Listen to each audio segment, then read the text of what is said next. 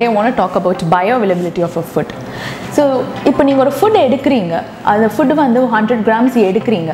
But அதோட bio availability வந்து seventy percent அப்படின்னா செவன்ட்டி கிராம்ஸ் நீங்கள் கன்சியூம் பண்ணுற ஃபுட்டில் வந்துட்டு இட்ஸ் கோன் கெட் அப்சார்ப் அந்த நியூட்ரியன் வந்து அப்சார்ப் ஆகி உங்கள் பாடியில் ஆக்ட் ஆக போகுது. பட் அதே இன்னொரு ஃபுட் எடுக்கிறீங்க if you're even taking one fifty grams but ஆனால் அதோட bioavailability if it's only twenty percent then thirty grams தான் உங்கள் பாடியில் வந்துட்டு அப்சார்ப் ஆகி ஆக்ட் ஆக போகுது. So it's not about how much you eat but you have to know the bioavailability because it's about how much it's getting absorbed into your body எவ்வளோ nutrients உங்கள் உடம்புல சேர்றதுங்கிறது தான் ரொம்ப ரொம்ப ரொம்ப அவசியம்.